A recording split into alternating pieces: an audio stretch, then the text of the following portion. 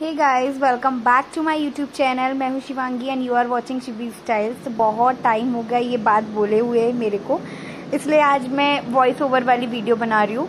और इतना टाइम नहीं था मेरे पास कि मैं डायरेक्टली इंट्रो शूट कर लूँ। और ये मेकअप लुक मैं कर रही हूँ अपने कॉन्वोकेशन डे के लिए। और उसके लिए था एक ड्रेस कोड जिसमें क्रीम कलर की साड़ी विद गोल्डन बॉर्डर था।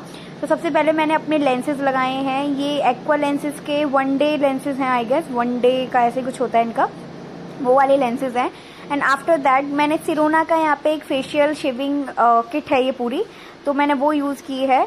ठीक है? आप लोग देख लेना किस तरीके से है। तो ये मैंने इंस्टा पे ऑलरेडी अपलोड की हुई है इसकी फुल रिव्यू तो you can check out my Instagram तो वीडियो में आगे बढ़ने से पहले मैं आप लोगों के साथ कुछ चीज़ें शेयर करना चाहती हूँ।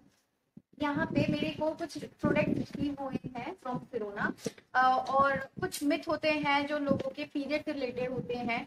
और जैसे कि मैं आपको फ़र्स्ट प्रोडक्ट दिखा रही हूँ मैंसोर कप से मैंसोर कप जैसे मैं आपको दिखा रही हूँ, यहाँ पे मेरे पास है menstrual cup you can see this is from Sirona और हाउ इट लुकिंग लाइक और उसके बाद ये कुछ तरीके से आपको दिख रहा है। इसके साथ आपको मेंस्ट्रुअल कप वॉश भी यहाँ पे आपको फ्री मिलता है you can see this is in small packaging तो बहुत काफ़ी अच्छा uh, ये मेंस्ट्रुअल कप है। कि मेंस्ट्रुअल कप अगर आप यूज़ करोगे तो uh, वो वजाइना में यू नो डिसअपियर हो सकता है गायब हो सकता है। तो ये गलत मिथ है मतलब ये एक मिथ ही है कहूँगी मैं क्योंकि ऐसा कुछ नहीं होता है। मैं बहुत टाइम से खुद भी यूज़ कर रही हूँ मेंस्ट्रुअल कप तो मेंस्ट्रुअल कप आपके प्राइवेट पार्ट के अंदर जाके कहीं भी डिसअपियर नहीं हो सकता है, कोई रिसीव हुआ था जिससे कॉटन टैम्पॉन्स तो ऐसा मिथ है कि आप इसको यूज़ नहीं कर सकते हो और समथिंग लाइक दैट बट कौन कहता है? ठीक है? तो आप इस तरीके के टैम्पॉन्स यूज़ कर सकते हो ड्यूरिंग अ पीरियड टाइम ठीक है? ये आपको तीन से चार घंटे तक इजीली यू नो आप इसे इजीली यूज़ कर सकते हो तीन से चार घंटे तक। उसके अलावा यहाँ पे अगर आपको रैशेज हो जाते हैं तो you can use rashes cream this is from Sirona that is anti chafing rash cream and अंदर से ये कुछ इस तरीके से आपको दिखती है। ये इस तरीके की है। इनके प्रोडक्ट्स काफ़ी अच्छे हैं काफ़ी अफोर्डेबल हैं और इन्होंने कई नई नई अपनी वराइटीज निकाली हैं गाइस तो आप चेक आउट कर सकते हो इनकी वराइटीज को। उसके अलावा पीरियड में एक मिथ होता है कि अचार नहीं खाना चाहिए अचार को छूना नहीं चाहिए। uh, हो सकता है कि चलो अचार नहीं खाना चाहिए। आई अंडरस्टैंड जैसे बहुत ठंडा खट्टा खाने से लोग मना करते हैं लेकिन छूना नहीं चाहिए उससे क्या होगा? ये मिथ मेरे को नहीं समझ में आता और ये जस्ट मिथ है जिसको मैं भूम कर चुकी हूँ ऐसा कुछ भी नहीं है। लोगों का मानना है कि मंदिर और किचन को भी नहीं छूना चाहिए। ऑफकोर्स मंदिर और किचन में नहीं जाना चाहिए, लेकिन उसका रीजन एक ये है कि जब आपको पुराने टाइम में, जब ओल्ड टाइम में आपको पीरियड्स आते थे, यानी कि आपसे पहले की आपकी मम्मी, आपकी दादी, जब उनको पीरियड आते थे, उस टाइम पे ये बहुत ज़्यादा मिथ चलता था। आपको किचन में नहीं जाने दिया जाता था हैशटैग टैबू है हमारे यहाँ ये कि मंदिर में आप नहीं जा सकते हो।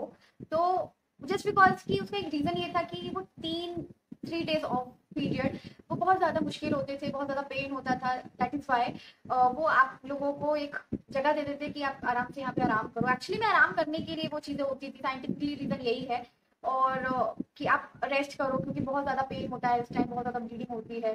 तो बहुत सारी चीज़ें ऐसे हार्मोन्स चेंज होते हैं माइंड चेंज होता है मूड स्विंग्स होते हैं, काफ़ी ऐसी चीज़ें होती हैं, जिस टाइम आप रेस्ट करो तो ज़्यादा बेटर है। लेकिन कुछ चीज़ों को धारणा ऐसी बन जाती है कि अच्छा किचन भी नहीं छूना है, मंदिर भी नहीं जाना है, ऐसा कुछ होता है। पीरियड टाइम में तो आई डोंट थिंक यार ये सब मिक्स होना चाहिए। था बॉडी गार्ड का mosquito repellent cream how it looks और ये मैं इसका छोटा पैक ऑलरेडी यूज़ कर चुकी हूँ, जो कि मेरे पास है नोएडा में।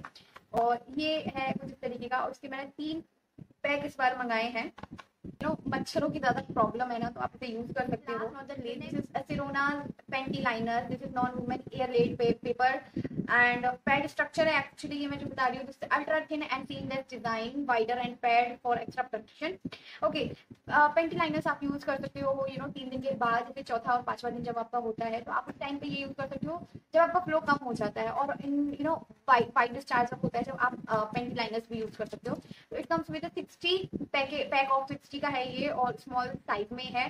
तो आप एक बार स्मॉल ट्राई कर लो। इफ़ आप कंफर्टेबल रहते हो स्मॉल में तो you can no purchase small या फिर नेक्स्ट टाइम के लिए मीडियम और लार्ज की भी आपको नॉलेज हो जाएगी। है ना? तो guys what are you waiting for ये प्रोडक्ट काफ़ी अच्छे हैं और मेरे को काफ़ी पसंद आए हैं। अगर आप लोग भी इंटरेस्टेड हो तो guys go and check out link आपको डिस्क्रिप्शन में दे रखी है। So go and check out now उसके बाद यहाँ पे थोड़ा सा वीडियो क्वालिटी आपको डाउन दिख सकता है जस्ट बिकॉज़ यहाँ पे ना शॉर्ट में स्लो मोशन में एक्चुअली वीडियो शूट हो गई थी। तो उसकी वजह से इस तरीके से वीडियो आ रही है बट आगे आपको नहीं दिखेगी। तो टोनर के बाद मैंने यहाँ पे मॉइस्चराइजिंग की। मॉइस्चराइजिंग के बाद यहाँ पे लिपिड्स का मैंने ये मॉइस्चराइजर यूज़ किया है। E M M E Mega Mart की ये प्रोडक्ट था, ये वाला लिपिड्स का। तो वो वही वाला मैंने यूज़ किया। ना आफ्टर दैट मैंने यहाँ पे एन वाई बे का कंसीलर यूज़ किया है। सॉरी कंसीलर नहीं प्राइमर यूज़ किया है। यहाँ पे भी ओपन पोर्स है। हालाँकि मेरे ओपन पोर्स नहीं है।